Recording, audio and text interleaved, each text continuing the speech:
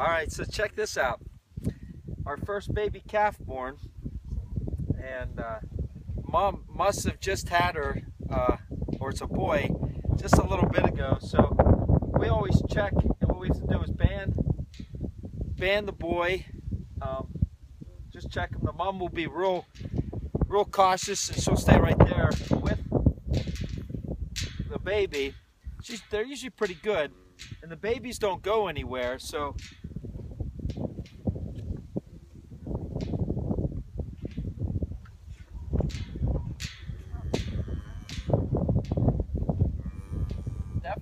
boy.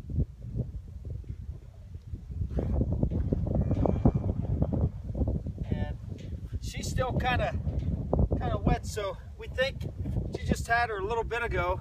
But that's our first baby calf born this season.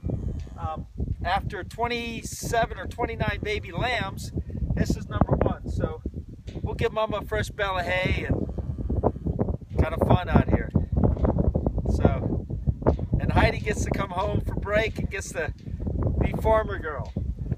So, remember, this is going live. Gotta have fun.